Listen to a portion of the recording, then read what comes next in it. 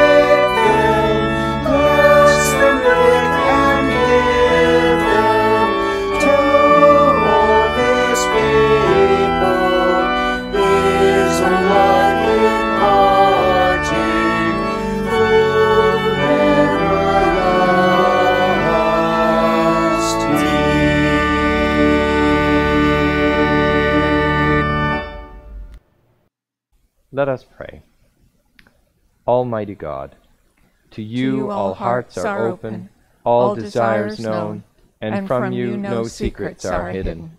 Cleanse the thoughts of our hearts by the inspiration of your Holy Spirit, that we may perfectly love you and worthily magnify your holy name. Through Christ our Lord. Amen. Our Lord Jesus Christ said, Hear, O Israel, the Lord our God is one Lord. And you shall love the Lord your God with all your heart, and with all your soul, and with all your mind, and with all your strength. This is the first and great commandment. The second is like unto it. You shall love your neighbor as yourself. On these two commandments hang all the law and the prophets. Lord, have mercy upon us, and write both these your laws in our hearts, we beseech you. Let us pray. Stir up, O Lord, the wills, of your, faithful people, that richly bearing the fruit of good works, we may by you be richly rewarded. Through Jesus Christ our Lord, who is alive and reigns with you and the Holy Spirit, one God, now and forever. Amen. And let us uh, listen to our readings. A reading from the letter to the Romans, chapter 13, verses 8 to 14. Owe no one anything except to love one another, for the one who loves another has fulfilled the law. The commandments you shall not commit adultery, you shall not murder, you shall not steal, you shall not covet, and any other commandment are summed up in this word love your neighbor as yourself. Love does no wrong to a neighbor. Therefore, love is the fulfilling of the law. Besides this, you know what time it is, how it is now the moment for you to wake from sleep. For salvation is nearer to us now than when we became believers. The night is far gone, the day is near. Let us then lay aside the works of darkness and put on the armor of light. Let us live honorably as in the day not in reveling and drunkenness, not in debauchery and licentiousness, not in quarreling and jealousy.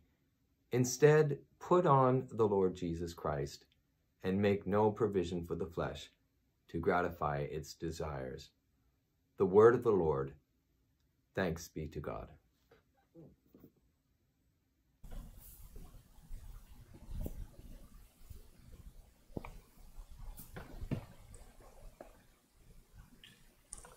Let us say together the words from Psalm 149. Praise, Praise the, the Lord. Lord. Sing, Sing, to the Lord, a, new, a new song, his, his praise in the assembly of the faithful. Let Israel be glad in its Maker. Let the children of Zion rejoice in their King.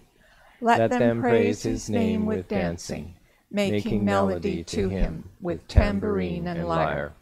For the Lord takes pleasure in his people. He adorns the humble with victory. Let the faithful exult in glory. Let them sing for joy on their couches. Let the high praises of God be in their throats, and two-edged swords in their hands, to execute vengeance on the nations and punishment on the peoples, to bind their kings with fetters and their nobles with chains of iron to execute on them the judgment decreed. This is glory for all his faithful ones. Praise to the Lord. The Holy Gospel of our Lord Jesus Christ according to Matthew. Glory, Glory to, you, to, you, Lord Jesus, Jesus Christ. Christ. If another member of the church sins against you, go and point out the fault when the two of you are alone. If the member listens to you, you have regained that one. But if you are not listened to, take one or two others along with you, so that every word may be confirmed by the evidence of two or three witnesses. If the member refuses to listen to them, tell it to the church. And if the offender refuses to listen even to the church, let such a one be to you as a Gentile and a tax collector. Truly I tell you, whatever you bind on earth will be bound in heaven, and whatever you loose on earth will be loosed in heaven. Again, truly I tell you, if two of you agree on earth about anything you ask, it will be done for you by my Father in heaven. For where two or three are gathered in my name, I am there among them. The Gospel of Christ. Praise, Praise to, you, you, Lord, Lord Jesus, Jesus Christ. Christ.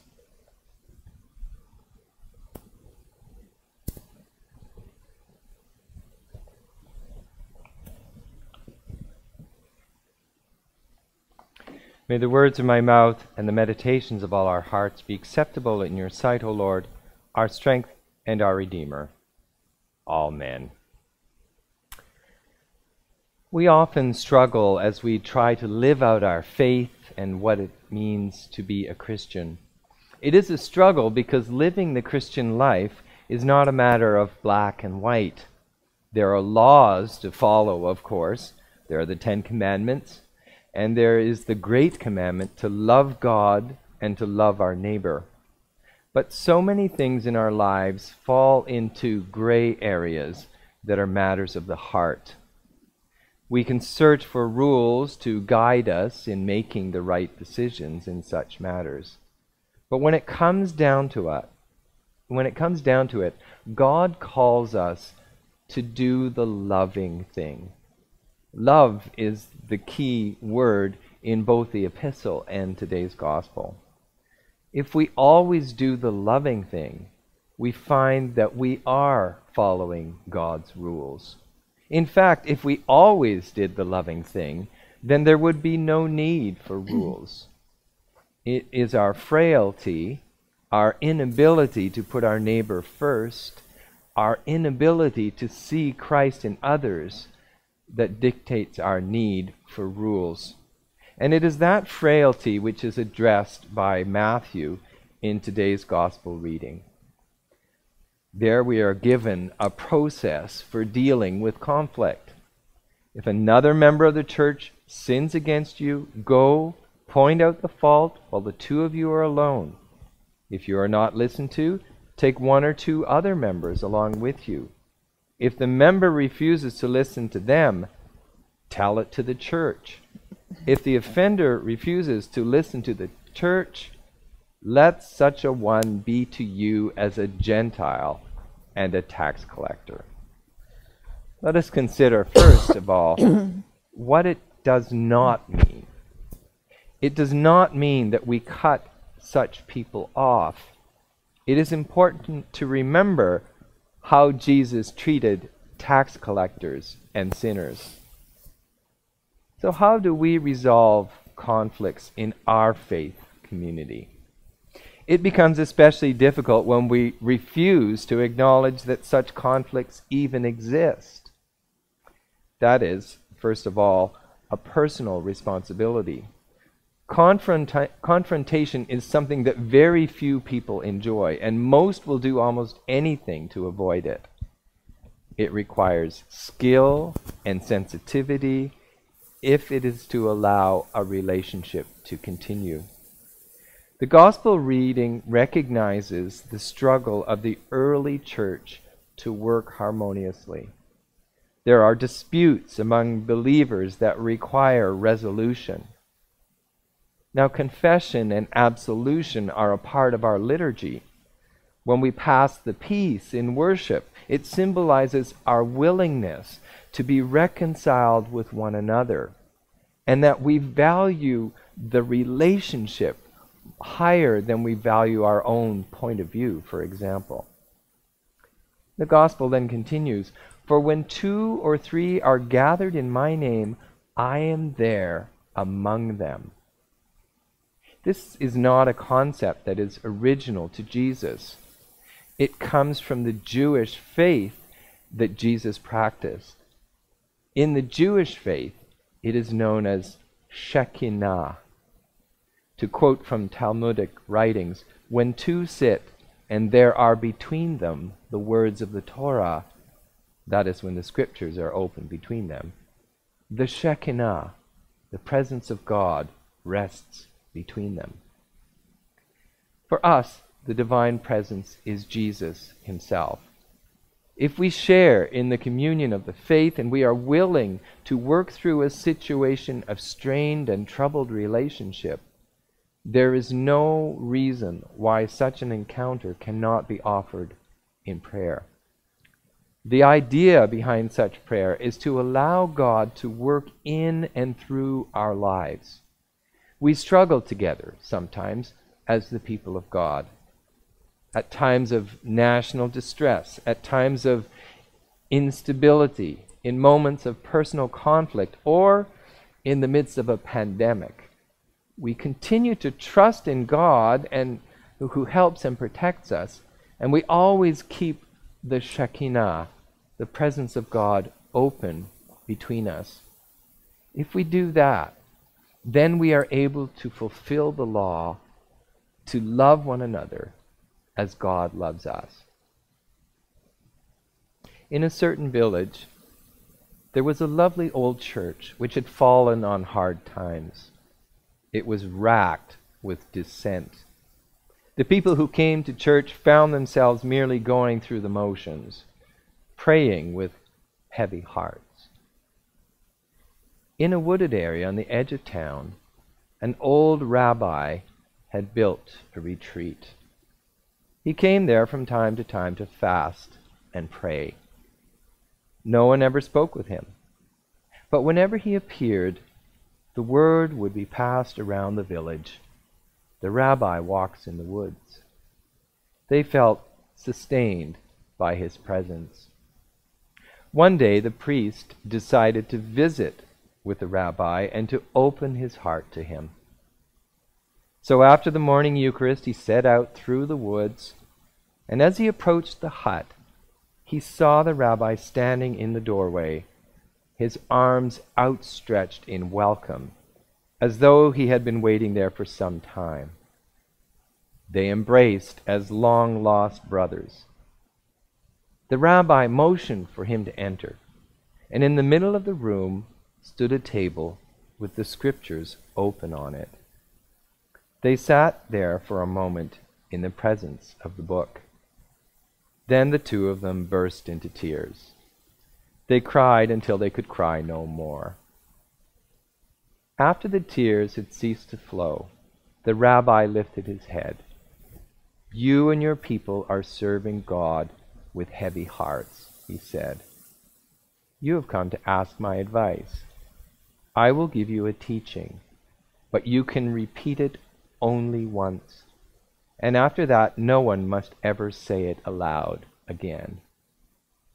He looked at the priest straight in the face and said, The Messiah is among you. For a while, all was silent. Then the rabbi said to him, You must go now. And he left without a word and without ever looking back. The next Sunday, during the sermon, he told the people about the teaching from the rabbi and that it was never to be spoken aloud again.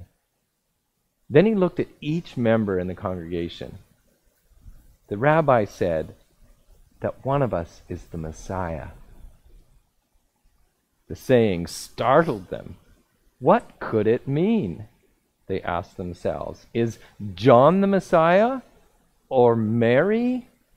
Or Thomas? It can't be Thomas. He's too bad tempered. Am I the Messiah? What could all this mean? The teaching puzzled them, but no one ever mentioned it again. As time went by, they began to treat one another differently. They lived with one another as if they had found something special.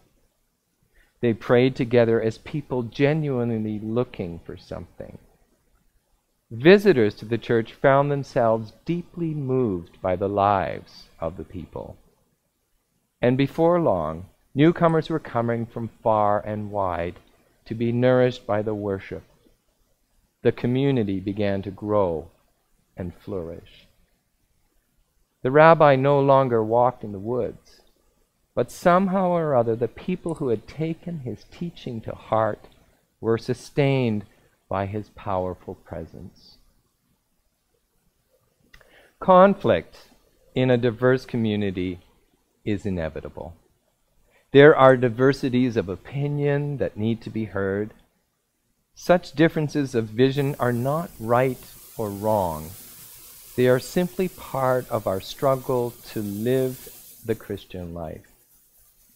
The way to deal with such conflict lies in seeing Christ in one another and in praying for each other that Christ may be served.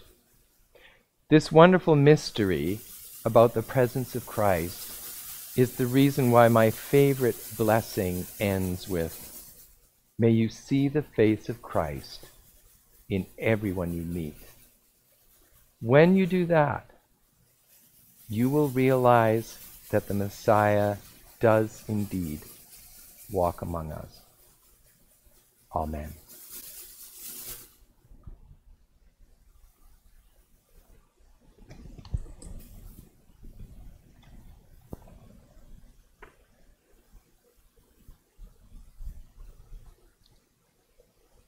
Let us say together the words of the Nicene Creed. I believe in God, the, the Father Almighty, maker of heaven and earth, of all that is seen and unseen. We believe in one Lord Jesus Christ, the only Son of God, eternally begotten of the Father, God from God, light from light, true God from true God, begotten, not made, of one being with the Father. Through him all things were made. For us and for our salvation, he came down from heaven.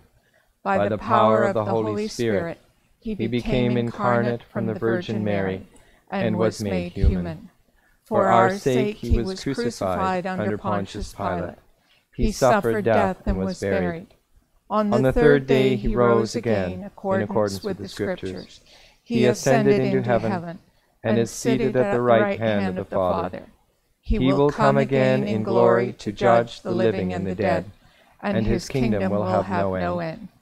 We believe in the Holy Spirit, the Lord, the giver of life, who proceeds from the Father. With the Father and the Son he is worshipped and glorified. He has spoken through the prophets. We believe in one holy, Catholic, and Apostolic Church. We acknowledge one baptism for the forgiveness of sins, and we look for the resurrection of the dead and the life of the world to come. Amen. In the power of the Son, let us pray to God who governs all heaven and earth. Inspire your church always to press forward to the goal of which she is called. Make all her members faithful servants of your will. We offer our prayers to you for all who worship in the Diocese of Niagara. We remember Bishop Susan Bell and all clergy as we take steps into reopening our places of worship. We pray for our diocesan prayer partner, St. Paul's Jarvis, Reverend Richard Morris Rector, and the people of that parish. Lord, in your mercy, hear, Hear our our, prayer. prayer. Look with mercy on a world when the greed of gain deprives many of their rights. Guide those in authority to govern by the true values of your kingdom. Lord, in your mercy, Hear our prayer. We remember all those whose lives have been affected by hurricanes, monsoons, and other natural disasters. May those people know of your guiding hand to lead them through the wilderness they now find themselves in. Lord, in your mercy, Hear our prayer. In our dealings with others, teach us not to trust our own desires, but to follow where Christ has led. Make us honest in our work, seeking the good of others. Lord, in your mercy, hear, Hear our our, prayer. prayer. We pray for all frontline workers, emergency workers, and all who are fighting to reduce the impact that COVID 19 is having on our lives. Lord, in your mercy, Hear our prayer. prayer. Bring healing to those who are sick in body or mind or spirit. Lift up those whose spirits are weary. And we remember especially those who have asked for our prayers Bernice Peterson, Jane Ross, Paul Benson, Doug McDonald, June, Alex, Nick, Jane Gatke, Christopher, Jeff Smith, Hannah, Sue, Hazen Haywood, Wendy, Bev, Peter Robertson, Melanie and family, Marilyn, Monica, Terry Raybold, Cheryl Clark, Mary Sherwood, Ocean Tomlinson, Allie, Jim Glass, and others we hold in our hearts. Lord, in your mercy, hear, Hear our our prayer. prayer. In the glow of our paschal candle, we pray for those who have died, remembering especially Betty Connolly, and those who are written forever in our hearts. Grant that they shall indeed see the face of Christ and live with him forever. Lord, in your mercy, Hear hear, our our, prayer. prayer. Let Christ, the Sun of Righteousness, shine forever in our hearts and draw us to that light where you live in radiant glory. Amen. Amen. Let us confess our sins, confident in God's forgiveness. Most merciful God, we, We confess that we have sinned against you in thought, word, and deed, by what we have done and by what we have left undone. We have not loved you with our whole heart, we have not loved our neighbors as ourselves. We are truly sorry, and we humbly repent. For the love of your Son, Jesus Christ, have mercy on us and forgive us, that we may delight in your will and walk in your ways, to the glory of your name. Amen. Almighty God, our heavenly Father, who of his great mercy hath promised forgiveness of sins to all them that with hearty repentance and true faith turn unto him, have mercy upon you, pardon and deliver you from all your sins, confirm and strengthen you in all goodness, and bring you to everlasting life. Through Jesus Christ our Lord. Amen. Amen. Let us pray. Lord Jesus Christ, you said to your apostles, I leave you peace, my peace I give you. Look not on our sins, but on the faith of your church, and grant us the peace and unity of your kingdom, where you live for ever and ever. Amen. Amen. The peace of the Lord be always with you. And also with you. Peace be with you. Peace. Peace. And uh, now we will sing together our hymn, Healer of Our Every Ill.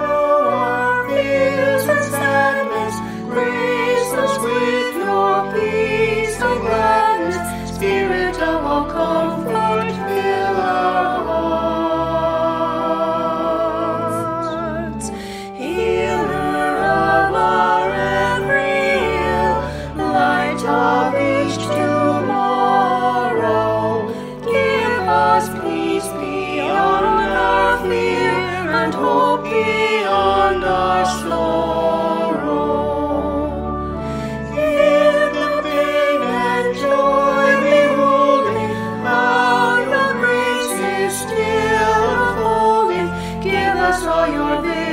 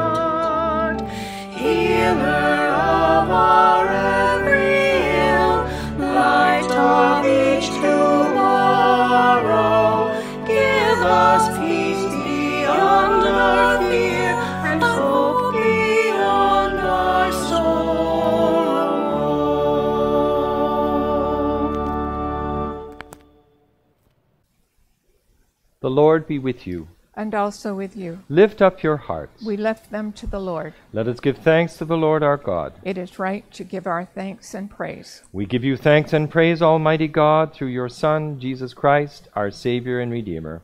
He is your living Word, through whom you have created all things. By the power of the Holy Spirit, he took flesh of the Virgin Mary and shared our human nature. He lived and died as one of us to reconcile us to you the God and Father of all. Now, with all creation, we raise our voices to proclaim the glory of your name. Holy, holy, holy, Lord, God of power and might, heaven and earth are full of your glory. Hosanna in the highest. Blessed is he who comes in the name of the Lord. Hosanna in the highest. Holy and gracious God, accept our praise through your Son, our Savior Jesus Christ, who on the night he was handed over to suffering and death, took bread and gave you thanks, saying, Take and eat. This is my body, which is broken for you. In the same way, he took the cup, saying, This is my blood, which is shed for you. When you do this, you do it in memory of me. Remembering, therefore, his death and resurrection, we offer you this bread and this cup, giving thanks that you have made us worthy to stand in your presence and serve you. We ask you to send your Holy Spirit upon the offering of your holy church. Gather into one all who share in these mysteries, filling them with the Holy Spirit, and confirming their faith in the truth, that together we may praise you and give you glory through your servant Jesus Christ. All glory and honor are yours, Father and Son, with the Holy Spirit, in the Holy Church, now and forever. Amen. Amen. And now we sing together the words our Savior taught us.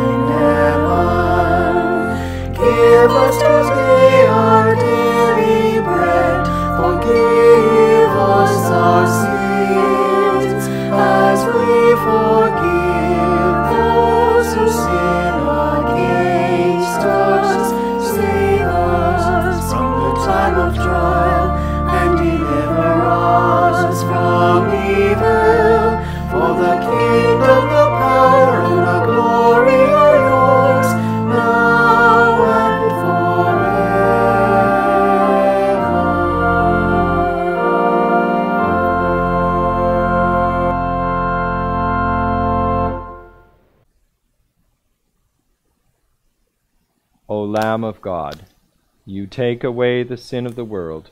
Have mercy upon us. O Lamb of God, you take away the sin of the world. Have Have mercy mercy upon upon us. O Lamb of God, you take away the sin of the world. Grant, Grant us, us your, your peace. peace.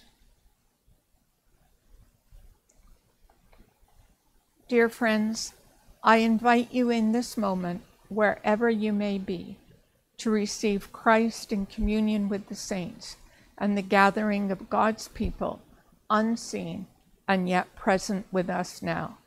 Let us pray. We receive you, Lord Jesus Christ. We, We welcome, welcome your presence presence in us and, and together proclaim our love for you. With our hearts, minds, our souls, and our strength, with the saints we worship you. With the angels we adore you.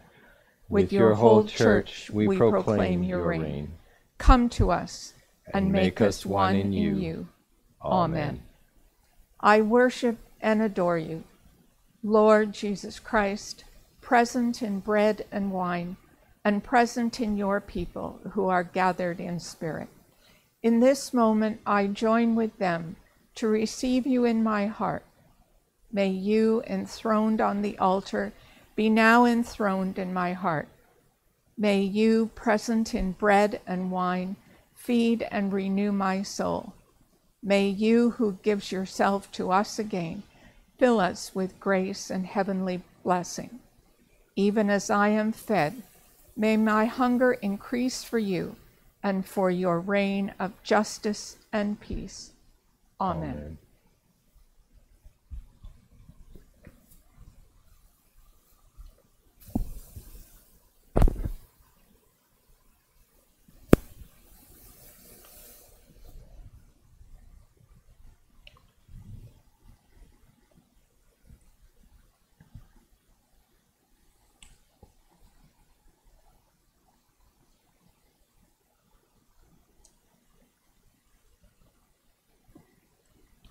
Father, your, word and sacrament give us food and life.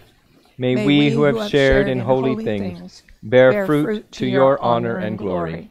In the name of Jesus Christ the Lord. Amen. Glory to God, whose power working in us can do infinitely more than we can ask or imagine. Glory to God from generation to generation, in the church and in Christ Jesus, forever and ever. Amen. May the Lord Jesus, who walks on wounded feet, walk with you to the end of the road. May the Lord Jesus, who serves with wounded hands, help you to serve one another. May the Lord Jesus, who loves with a wounded heart, be your love forevermore. Bless God wherever you go, and may you see the face of Jesus in everyone you meet. And the blessing of God Almighty, the Father, the Son, and the Holy Spirit be with you and remain with you always. Amen. Let us bless the Lord. Thanks, Thanks be, to God. God.